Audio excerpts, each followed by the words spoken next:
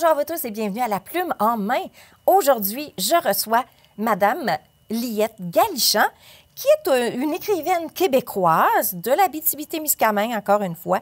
Elle est l'autrice de plusieurs livres de poche qui racontent une histoire biographique, romancée, telle que Les petites histoires à Liette. Bonjour, Liette. Bonjour, Guylaine. Merci d'avoir accepté l'invitation de venir nous parler de votre, de- en fait, d'un- ensemble de livres, des petites histoires. J'ai des questions à vous poser, Liette. On commence à l'instant. Alors, comment est-ce que vous avez commencé à écrire? J'ai commencé à écrire euh, depuis que j'ai appris à écrire. Oh, OK. Puis j'ai fait beaucoup de livres avant, mais pour les publier, c'est autre chose. Mais ça fait très longtemps que j'écris. Même, je me souviens que j'avais écrit un... Vous savez, dans le temps, là, les feuilles de 250... Oui, à- les Canada, là. Oui, Oui. Puis qu'on mettait ça dans nos cartables. Là. Je n'avais écrit trois fois ça, tout bien écrit, Wow. tout corrigé. Euh, Puis je m'en souviens avec ma mère. Moi, j'ai dit, maman, ah, j'ai non, je ne le publierai pas. Je trouvais qu'il était gras. Puis euh, il y avait des. Là, on pourrait dire que c'était une- vraiment une biographie, là, euh, aucune enrobage. Puis. Euh, alors donc, j'ai tout brûlé ça avec maman. Maman a dit, mon Oh Dieu, non. ça se peut pas que tu vas mettre ça dans, dans le poêle. J'ai dit, non, maman, je, dit, de toute façon, c'est fait, c'est du passé. Puis, C'était euh, pas à votre goût? ben, c'était à, à mon goût, c'était trop crade. OK. Vous ne pouviez pas le publier, là. C'est, ça, c'est inexplicable, là. euh. C'était une première ébauche. Oui, oui, oui, oui. Mais j'avais, j'ai, toujours écrit, j'ai toujours aimé écrire. OK. Toujours, toujours, toujours. Aussitôt que à l'école, j'ai appris à écrire, c'est là que ça vient mon écriture. Toujours écrit. À partir de quand que, là, vous avez décidé, OK, celui-là, je peux le publier? Parce que je me suis dit, ça fait longtemps que j'écris, puis je me dis, ah, je vais publier. Puis là, je me dis, non, avant de mourir, c'est drôle à dire, hein, je me suis dit, non, j'aide à réaliser tous les, les projets des autres. OK. J'ai dit, je vais faire quelque chose pour une fois dans ma vie pour moi. Ah. Pour moi. Puis je me dis, ah, j- j'ai fait, je fais des dépenses souvent aussi pour les autres, toujours pour les autres. Alors donc, je me suis dit, non, je m'offre ces petits livres-là. Puis si un jour, je vieillis beaucoup, puis que je m'ennuie, puis que j'ai oublié bien rien du passé, je vais les lire. Ah, ben c'est intéressant. C'est vu comme ça. Ben oui, c'est une belle façon de se rappeler euh, notre passé. Oui, puis j'ajouterais aussi, en même temps, en, en partant, parce que ça prend toujours des bases pour écrire, puis je me disais, ça serait un genre de thérapie. Ah, OK. Aussi personnel. OK. Tu sais, même si c'est enrobé, c'est avec mon imagination fertile, un peu des histoires, euh, mais avec genre biographique, au moins ça aide, ça m'aidait à faire le, le cheminement. OK. OK. Fait que donc, c'est une forme de cheminement thérapeutique que vous avez fait en écrivant le premier livre en, en tant que tel. Puis là, à partir de là, là c'est quoi qui vous a inspiré à dire Ah, je continue à écrire? Ah, c'est une bonne question, ça. Qu'est-ce qui m'a inspiré à écrire? C'est comme. Mais à quelque part, là, je, je racontais ça à des amis. Il y a des fois, c'est pas moi qui écris. OK. Euh, Je pouvais, euh, disons, là, je- dormir. On va dire que je dormais. Puis tout me disait tout quoi écrire. Ah, c'est. C'est OK. c'est- Fait que un là. peu comme de l'écriture automatique, en quelque sorte? Ben. Le lendemain, j'arrivais, là, sur l'ordinateur, j'écrivais ce qu'on m'a disait d'écrire. Fait que par Puis- des songes de la nuit. Puis je pouvais pas aller dire tome 2, je pouvais pas faire des gros livres parce que c'était comme une étape terminée, classée. Je pouvais aucunement aller à, à mon tome 2, disons, faire un, deux ensemble. Oui. Non, il y avait un... Je sais... Je pourrais quasiment pas expliquer. Hein. Quand c'est des choses dans l'invisible, c'est dur à trouver ça. les bons mots. Oui, effectivement. Est-ce qu'il y a eu un temps long entre les deux, euh, entre, euh, entre les deux tomes? Non, ça, s'est- ça s'est suivi. Ça s'est suivi. Il y avait encore des choses à dire. Oui. Donc, vous pouvez parler en quelque sorte que vous avez été inspiré par l'univers, par ce que vous croyez euh, de plus puissant que vous pour pouvoir écrire un message. Ouais, oui, effectivement. Oui, moi, je crois que ça a été ma destinée. Puis surtout, c'est un arrimage hein, aussi, comme que je vous disais. C'était thérapeutique pour moi. Puis, puis je me disais, c'est à moi, c'est mon bébé. Tu sais, quoi qu'il puisse arriver, c'est c'est mes bébés. Oui, c'est ça. Ah, c'est intéressant. Dans votre, c'est quoi votre parcours en tant qu'écrivain? Est-ce que vous continuez à écrire? Oui, je continue Oui. toujours. Puis même, j'avais déjà écrit un petit livre qui... qui... Mais c'était pas pour moi, c'était pour euh, l'organisme à ma, à ma soeur, tu sais. Ça s'appelait Caridon. J'ai écrit ce petit livre-là aussi. Puis, euh, mais sauf écrire vraiment, qu'on dit être é- écrivain, tu sais, Mm. au- auteur, là, euh, c'est la première fois que je me lançais, là, vraiment. Mais je suis passionnée. Je crois que je vais toujours écrire dans ma vie. Si on, on- on viendrait chez moi, là, vous verrez ça, là, il y a tout un... Ah, il faut que je... Ah, je garde ça comme note. Ah, ça, là, je garde ça comme note. Ah, ça, ça va être un autre bouquin. J'ai déjà plein de bouquins, mais que ça va être un autre genre aussi, à un moment donné, là. OK. Fait que vous avez une certaine organisation Oui. dans vos idées. Oui. Donc, ça ne veut pas dire que l'idée que vous avez aujourd'hui, qui va être dans le prochain livre, mais que ça pourrait être dans un livre autre. euh, Exact. Oui, oui, oui, oui. Ah, c'est intéressant, ça, euh, de ce côté-là, à, Oui. à voir ça quand on est nouvel auteur, d'aller chercher des astuces de d'autres auteurs. Comment Oui. est-ce qu'ils ont réussi à écrire? Puis j'ai déjà mes titres, là, en plus. Là, OK. Mais sauf, c'est sûr qu'il restera qu'en 2023, on sait tout que les coûts ont augmenté. Mm-hmm. Alors donc, euh, c'est, ça peut être au ralenti, là. Oui. Mais aujourd'hui, avec Internet, on peut aussi avoir les publications Internet. Oui, Il y a de plus en plus de gens qui s'en vont vers là. Oui. Donc, euh, si on s'en va pas vers un livre papier, ben, il peut avoir les livres plus Oui. virtuels. Mais ça restera, pour ma part, moi, je me trouve, un livre, ça reste un livre. Ah hein. oui, hein. la senteur. euh, Ah. Un vrai lecteur, là, ben, un vrai. hein. On peut pas dire ça. Il y a une évolution au niveau Oui, de la, parce de la que lecture. j'en connais plusieurs qui sont sur leur tablette et qui lisent leur livre. Ah. Mais sauf si l'Internet, euh, si ça fonctionne pas, l'informatique, Mm. ils font quoi? euh? Oui, puis si on lit dans le bain, des fois. L'eau, l'humidité, euh, si l'iPad ou le téléphone n'est pas conforme, euh, ça peut peut-être être un... On se met en danger dans notre lecture. Est-ce que vous avez suivi une formation?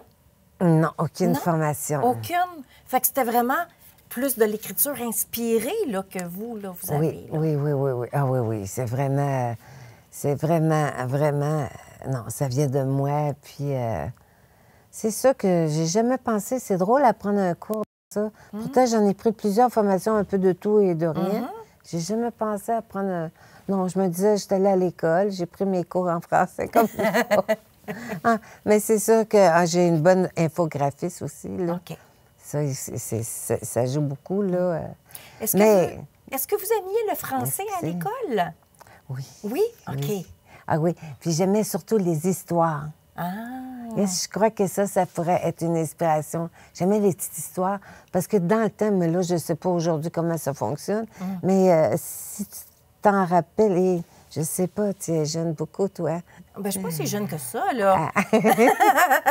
Est-ce qu'on dit notre âge? non, on ne dit pas. on le dira. J'espère, hein, je suis pas obligée. Mais non. euh, dans un temps, là, on, on travaillait sur des textes, puis des petites histoires hein, en français, Oui. euh, nos colons, ou des fois la petite histoire, euh, la petite brebis perdue. euh. Tu sais, il y avait des titres. Puis là, il fallait travailler sur ça, là, sur le texte, puis le décomposer. OK.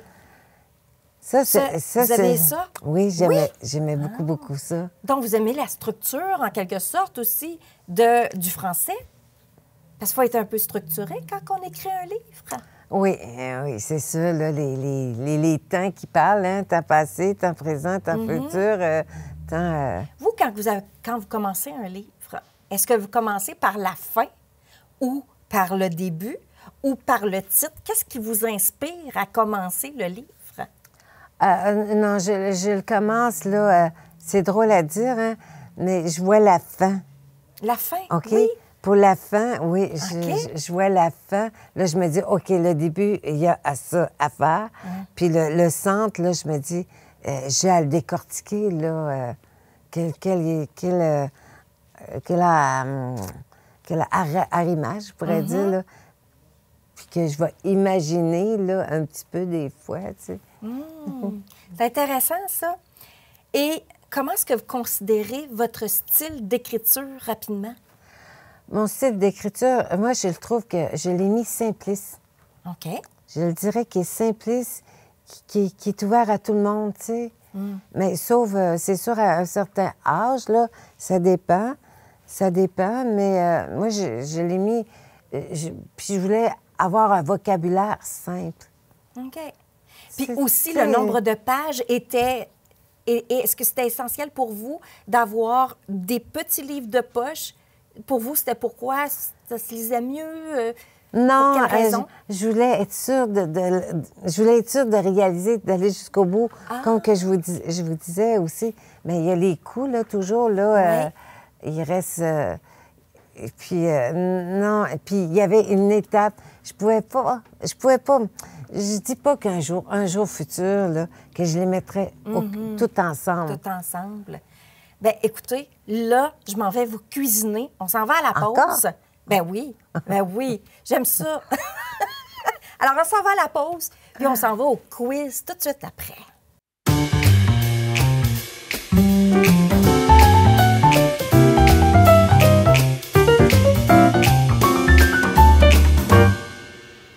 Bon, là, on va vous cuisiner, Liette. On est rendu Aimez- déjà là? Oui, aimez-vous la cuisine? Euh, pas tellement. Mais je cuisine. Je me débrouille dans la cuisine. Ben, on est deux qui n'aiment pas cuisiner, mais on va se faire cuisiner. On va Mais se je faire crois que de plus en plus, c'est les hommes qui aiment cuisiner. Hein, On a laissé de la, la place. Fait que là, ce qu'on va faire, c'est que je pige. hein, je suis la première. Je pige. On parle de votre livre, là. hein, Le tome 1.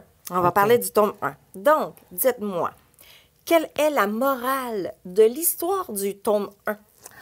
La morale de l'histoire, moi, je dirais que la morale, c'est que il y a toujours deux versions dans, dans la vie. OK? Il y a le côté gentil, puis le côté pas gentil. Moi, gentil. Moi, c'est ce que je dirais la morale de cette histoire. OK. Hein? Ça fait du sens. Je t'impressionne, hein? Tellement. Hey, là, c'est à mon tour, ça, Oui. Ah, ouais, moi, j'adore, j'adore moins, là. Ah. Hmm. Ouf. Quels sont les thèmes secondaires abordés dans le livre? Ah, c'est moi qui ai écrit ces questions-là? Hey, quels sont, je peux répéter si vous voulez, quels sont les thèmes secondaires Ah, abordés dans le livre? Non, mais là, Oh. ça, là, je le sais pas. C'est moi, je moi, suis fine, hein, c'est moi, je me mets en danger, puis c'est moi qui écris les questions, puis ça fait tellement longtemps que je l'ai lu, le livre, que je me souviens pas. Est-ce que vous en souvenez? Moi, je dirais les thèmes secondaires, euh, je pourrais dire secondaires. On pourrait parler de la campagne, c'est un thème. La Mhm. campagne, le déménagement. Non, je dirais pas le déménagement, c'est un thème vraiment... euh, non, c'est un thème secondaire. On, on va en mettre deux. OK. Hein? On en met va- deux. Donc, la on- campagne. On, va se ménager. ben là, je t'ai ménagé Hey, parce que j'ai répondu oui, pour hein? toi. Hey, je suis fine. Je suis fine de même. C'est moi qui est fine. C'est à mon tour à me faire plaisir. Oui. Oh. Quel est le message principal que l'auteur cherche à transmettre à travers l'histoire de Oh, Liette? moi, c'est simple, c'est que toujours de garder l'espoir, puis surtout, le message, c'est que, ben moi, je suis catholique, alors donc, euh, que on a nos anges, puis euh, Jésus qui, qui est, est toujours là pour nous. Que C'est grâce à, à- à lui qu'elle a pu s'en sortir toute petite. Là, je ne sais pas si vous vous en souvenez, là, mais toute petite. Là, en, en- ben là, je ne dirais pas tous les livres. Là. Ah, on va en parler du livre après, là. OK. Mhm. OK. Fait que là, c'est à votre tour. Oh, ça, j'adore. Ah. Oh, merci, merci. quel, quel genre de questions qu'on va me poser? Oh, Seigneur Jésus. Quel est le genre, li- le genre littéraire le plus proche de, la, de les petites histoires à Liette? Ah, je dirais euh, biographie. Oui, oui. Ah, oui, ah. oui. Ah, heureusement, c'était comme plus était- simple. elle était facile, ouais. Ouais, ben tant mieux. Ça aurait dû être la Facile mienne. pour moi. Mais euh, il faut faire toujours attention hein, quand on dit biographie. Hein. Biographie, ça veut pas dire que c'est c'est totalement Oui, c'est ça. C'est pas totalement réel. Il est romancé un peu. là. Exactement. C'est bio- biographique romancé, je oui, dirais. Oui, enrobé un peu de, de froufrou. De là. saveur, là, euh, oh, piquante des fois. hein? Comment le personnage principal évolue-t-il tout au long du livre? Euh, ben moi, je crois qu'elle évolue, euh, pour le tome 1, elle évolue beaucoup euh, avec, elle évolue avec une grande joie innocente, mais en même temps, elle arrive à un moment donné qu'elle est, euh, que c'est la tristesse qui remporte sur la jo- joie de vivre. Mhm. Oui, c'est ça exactement. Euh, plus vers la fin du livre, là, Oui. euh, c'est là qu'on le ressent un peu plus, Exact. je trouve. Oui. C'est à votre tour de me cuisiner? Une facile, une facile. Quel est le lien entre l'auteur et le personnage de Liette? Le lien, ben c'est vous. Trop facile. Trop facile. Et heureusement. Trop, trop facile. Mais pourquoi avoir écrit un livre biographique un peu romancé? C'est ça, c'est ça. je, je pose la question comme ça. Euh, parce que je voulais qu'il y ait un sens aussi, puis je voulais véhiculer un message. Au, au- mais là, on n'est pas rendu à la fin des tomes, là. Je voulais véhiculer un, un beau message d'espoir. Puis euh, aussi parce que genre, j'ai des- euh, j'en aurais long à dire, là, parce que j'ai des beaux commentaires, là. Puis que les gens re- euh, revoient des, des, des événements, puis que ça leur touche. Je trouve ça tellement beau quand je reçois ça, là, ça, ça me touche au cœur. Bien là, on va aller à la pause. Puis on revient justement à découvrir tout votre parcours de l'œuvre. OK, à tantôt. À tantôt.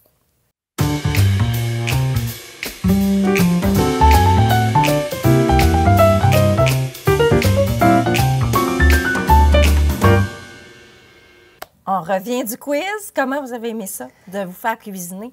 Mais moi, je dirais que c'est plutôt vous qui vous êtes eu des surprises, n'est-ce pas?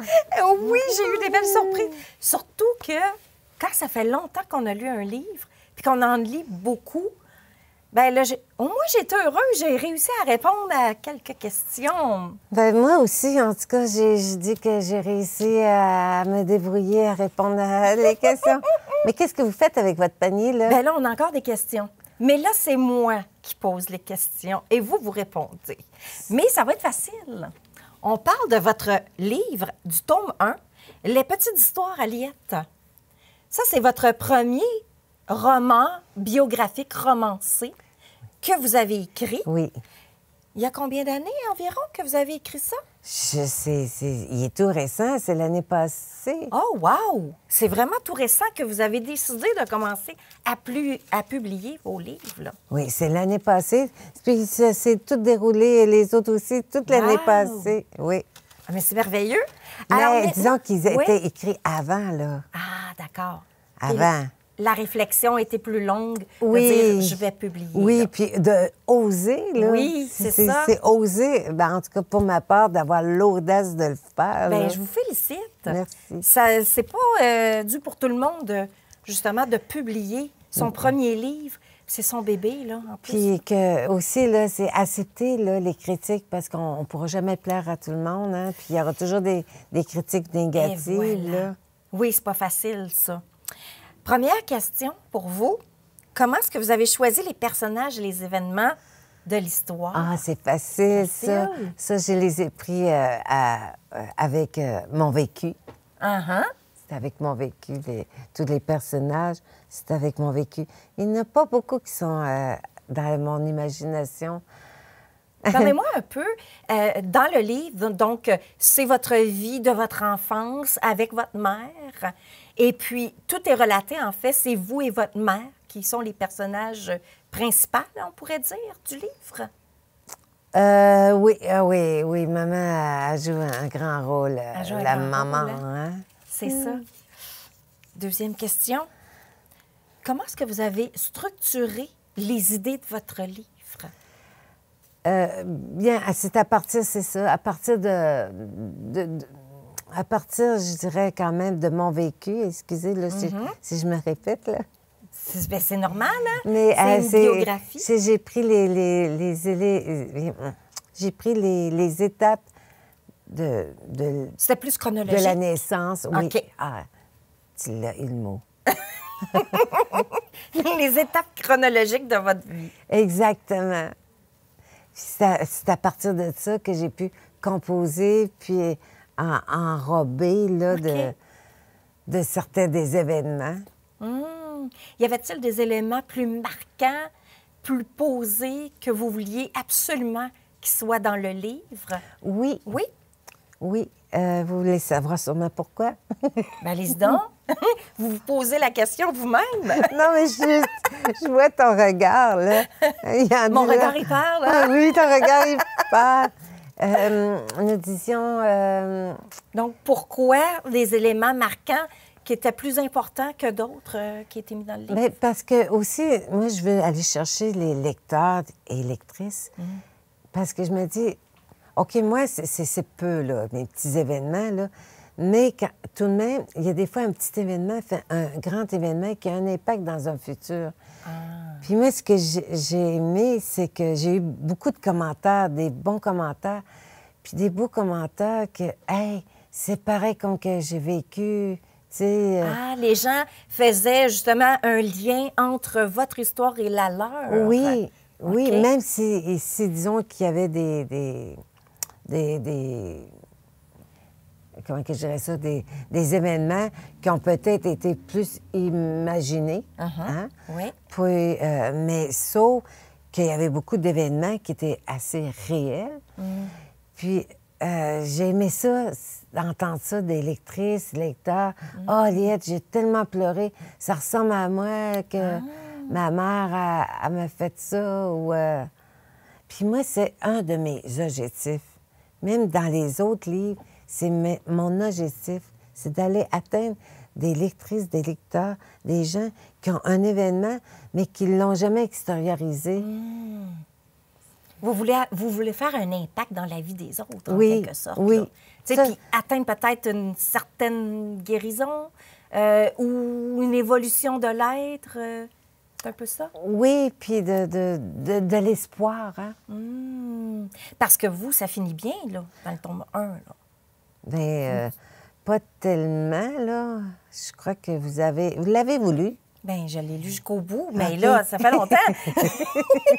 Il y a des bouleversements, je sais, à l'intérieur. Oui, c'est ça. Euh, ah, je- disons qu'il y avait une belle joie de vie, puis un, comme vous dites le bien mot, euh, un bouleversement à la fin. hein. Euh, je ne vais pas donner le Oui, il punch. ne faut pas donner là. le punch, là. On va laisser faire ça. ouais. On va continuer d'abord. On va continuer. Est-ce que vous en avez beaucoup? ah oui, quand vous voulez. OK. Y a-t-il des, y a-t-il des éléments de l'histoire qui sont basés sur des événements réels ou sur des personnages que vous connaissez? Oui. Assurément. Oui, on vient de, de le dire. Là, Euh, oui, il y a des les personnages, il y a des personnages réels. Puis comme il y a, il y a aussi il y a des personnages réels, mais en même temps que c'est dans mon imagination. Donc, vous avez un peu arrosé pour peut-être mettre un petit peu plus de piquant sur un, Oui. plus de tristesse sur l'autre, oui, puis plus d'impact aussi au niveau du lecteur et les, OK. des lectrices pour, que, pour essayer de les, les rejoindre. Hum, J'aime ça. OK, une autre question, s'il vous plaît. Oui, on va y aller. Quels sont les autres auteurs ou œuvres qui vous ont influencé dans votre écriture? Y en a-tu eu? Non, comme, comme, comme que. hmm, non, mais comme que je disais, c'est surtout dans, dans, dans mes cours de français à petite école. Ça, Votre les- professeur, là, à la petite école, est-ce que c'est une personne qui aimait écrire? Est-ce qu'elle, elle vous a influencé par rapport à ça? Non, c'est par rapport au, au- au- à nos devoirs qu'on avait à faire, mais sur des petites histoires. OK. C'est ça qui vous a influencé. Oui, parce que je trouvais ça beau, les petites histoires. euh, Ah. euh, là, ça me vient pas à l'idée des titres, là. euh, la petite brebis perdue ou euh, comme avait- dans le temps de. De Il y avait sûrement les poèmes, euh, euh, différents poèmes que vous deviez décortiquer ou... euh, non, plus Non? des petites histoires. Des- vraiment des petites oui, histoires. Oui, comme Ah. les petites histoires aussi de. C'est genre pour de ça que Ceux vous- qui ont dé- découvert le, le Canada. Là, OK. des- Jean- Christophe Colomb et puis... Exactement, tu sais. Mais des fois, c'était plus des- euh, une petite histoire, là. Pas, la grande histoire, là. Fait que c'est pour ça que vous avez appelé votre livre Les petites histoires de Liette? Oui, C'est ça qui vous a marqué? oui, parce que euh, avant, les gens, ils disaient Ah, Liette, comment ils vont être intitulés? Non, je voulais pas un titre euh, euh, exagéré à rien. Peut-être les autres, euh, ils seront pas non plus exagérés. Bien là, j'ose Mm. pas dire mes autres titres, là, parce que ça va être euh, un autre genre Ouais. de- de- d'écriture, là. C'est intéressant d'où ça vient, votre Oui. inspiration. Les petites histoires, là. Puis aussi, ça vient, on faisait des exposés. Bien, vous aussi, sûrement. Oui, Tu en as fait, oui. on faisait des exposés à l'école. Puis il y a des fois, il, fa- il fallait les faire devant la Mm. classe ou devant un public. Mm-hmm. Un public. Mais c'était une petite histoire qu'on racontait. Mm. Votre professeure, est-ce qu'elle vous a encouragé dans l'écriture? Non, Non? Non, non, j'ai pas eu. À vrai dire, j'ai pas eu d'encouragement de personne. OK. Excusez de le dire, là. Ben, Mais c'est c'est la vérité. Ben, en tout cas, je sens pas, j'ai eu de la- la- des encouragements, en tout cas, ou, euh, là, excusez-moi si j'ai oublié, là. C'est pas grave, les, ça. les- les personnes. Mais, euh, mais ça, c'est moi. Je me suis dit, Votre intérieur. je- je- peut-être je l'ai dit tantôt, mais j'ai dit, je voulais faire un projet pour moi, un bébé à moi. Arrêter de penser aux autres, de faire plaisir. Ouais. Mm. aux autres. Je voulais me faire plaisir à moi. Advienne que, que, que ça, vi- que ça va faire, ces, ces Mm. petits livres-là, tu sais. Hmm. Dernière question. Oh, oui. Comment est-ce que vous décririez les thèmes, ben, en fait, le thème de votre livre, et qu'espérez-vous que les lecteurs retirent de celui-ci? Pouvez-vous répéter, s'il vous plaît? Bien sûr. Comment est-ce que vous décrivez le thème de votre livre, donc les petites histoires à Liette, et qu'est-ce que vous espérez que les lecteurs en retirent? Bien, c'est ça. Je voudrais qu'il qu'il en retire exactement. Je voudrais qu'il retire, euh, En résumé. en résumé, de oui. l'espoir. Ah, de l'espoir. Oui, de l'espoir, qu'on n'est jamais toute seule euh, dans nos événements, puis qu'il y a toujours un positif à aller chercher. C'est ça que je veux, je veux que les gens retiennent. Merci beaucoup, Liette. Ça fait un plaisir de vous accueillir dans la plume en main. Alors, longue vie, continuez votre belle écriture. Merci beaucoup de votre encouragement. Merci à vous.